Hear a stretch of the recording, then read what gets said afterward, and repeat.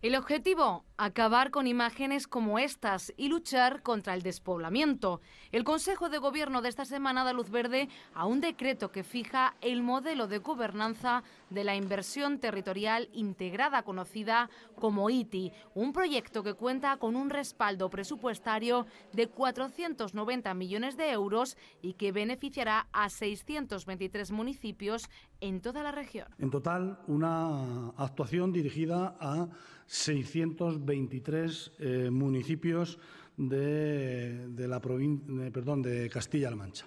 Municipios que, eh, a excepción de Talavera, que tiene eh, esta estrategia tiene un componente más de carácter socioeconómico derivada de la situación de desempleo, estamos eh, hablando de eh, municipios con un problema estructural de despoblamiento. Nueve líneas de estrategia de actuación, 34 objetivos y 114 acciones prioritarias y reserva de la financiación exclusiva para estos municipios. Una reserva de financiación que se tiene que destinar exclusivamente a estas eh, zonas de 490 millones de euros entre el Fondo Social Europeo, el Fondo eh, de Desarrollo Regional, el FEDER, y el FEADER, el Fondo Europeo de Desarrollo, eh, de Desarrollo Rural. Esta iniciativa cuenta con dos estructuras claves. Por una parte, se creará un comité de coordinación regional y por otra, cinco subcomités, uno por cada provincia,